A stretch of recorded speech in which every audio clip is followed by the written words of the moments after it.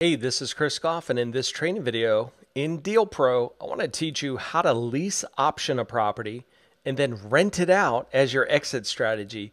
Probably not one of my favorite ways to do this, and you're going to see why.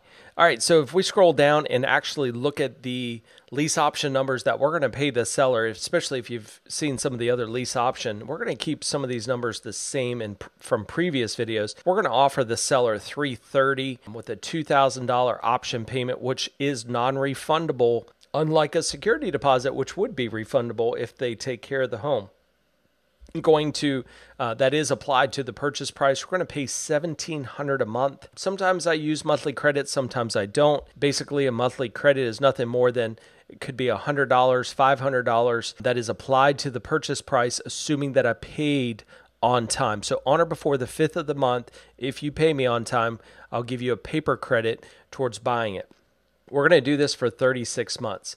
Now why would we rent this the only only reason I would ever do a lease option and rent it is if something was happening in the area.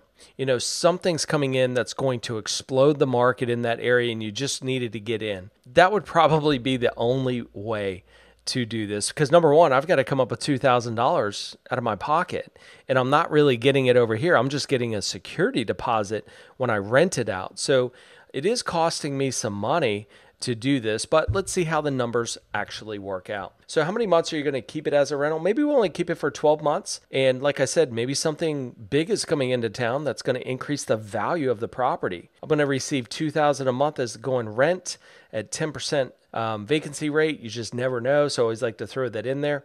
Now, monthly operating expenses really is going to be zero because we're not paying that over with the seller. The seller still owns the property.